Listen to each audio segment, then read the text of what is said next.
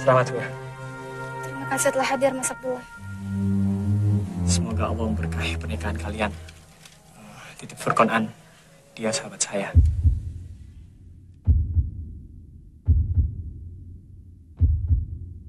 Ketika cinta